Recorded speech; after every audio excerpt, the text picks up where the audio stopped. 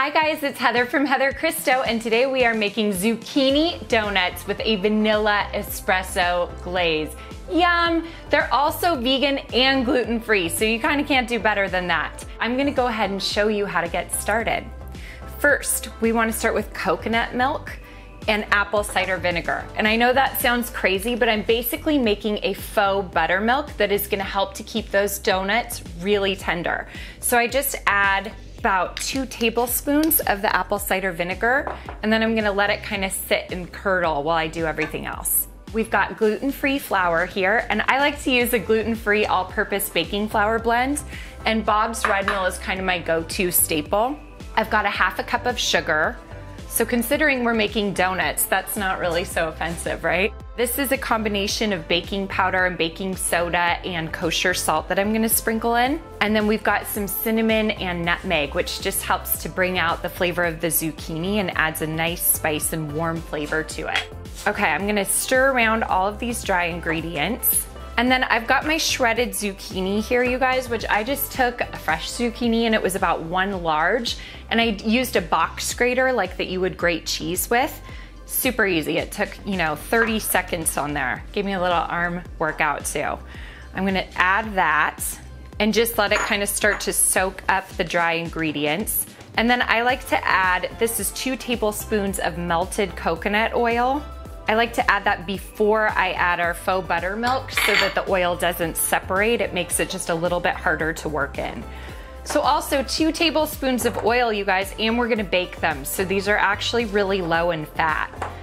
Okay, now we're gonna add our faux buttermilk and get everything really well mixed. And just so you know, this is a thick batter, so don't feel worried like you're missing moisture. It's supposed to be that way. Just an FYI, I found that a spatula is definitely the right way to go. You do not want to use a whisk or you kind of get a big mess.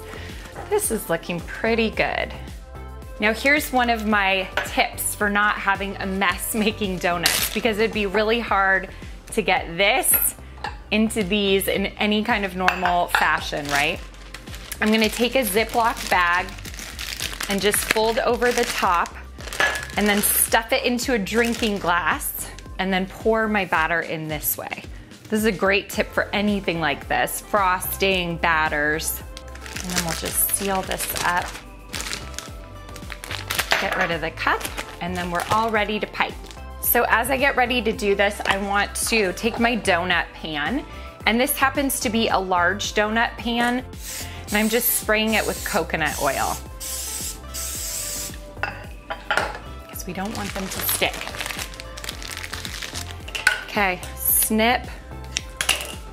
And look at these perfectly pipe in here. And I love that it keeps everything clean. And then I would just pop this in my oven, which has been preheated to 350 degrees. And these are gonna bake about eight to 10 minutes. There we go. Don't be fooled, I know they look a little lumpy on this side, but as we turn them out, they're pretty smooth on the other side. And once they get a nice coating of glaze on them, they're gonna look perfect.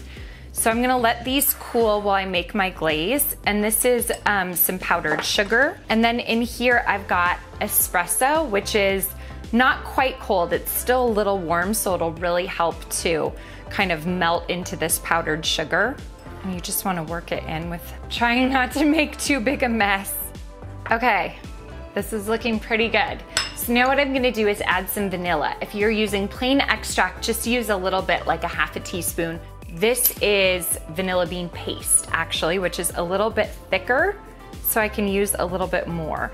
And they just suspend all the vanilla bean seeds in a paste. It has a really intense vanilla flavor and then you'll see it leaves like a little speckle in the glaze, which I think is beautiful. Okay, so now that these donuts have cooled, you could either drizzle it over the top or I like to go for a full dunk, actually usually a double dunk.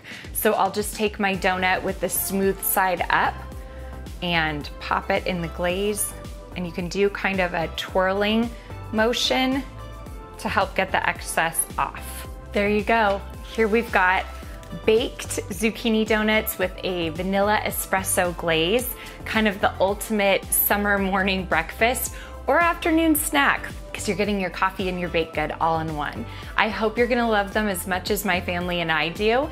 And for the full recipe, head on over to the blog.